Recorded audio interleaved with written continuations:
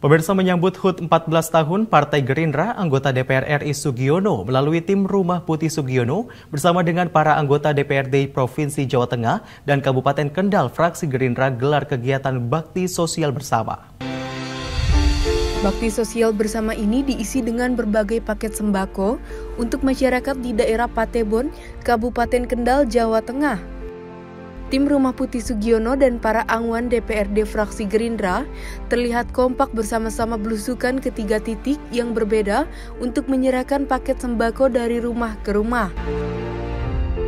Wilayah Jaya Patebon, Kabupaten Kendal, yang merupakan wilayah pesisir laut utara mayoritas berisi masyarakat yang bermata pencaharian sebagai nelayan. Musim hujan saat ini mengakibatkan intensitas mereka dalam melaut berkurang sangat banyak, sehingga pendapatan dari menangkap ikan juga berkurang. Kedatangan tim Rumah Putih Sugiono dan para anggota DPRD fraksi Gerindra disambut antusias oleh masyarakat. Selain menyerahkan bantuan paket sembako, tim Rumah Putih Sugiono dan anggota DPRD fraksi Gerindra berupaya untuk menyerap sebanyak mungkin aspirasi dari masyarakat. Hal ini sesuai komitmen Partai Gerindra untuk terus hadir memperjuangkan kesejahteraan rakyat kecil.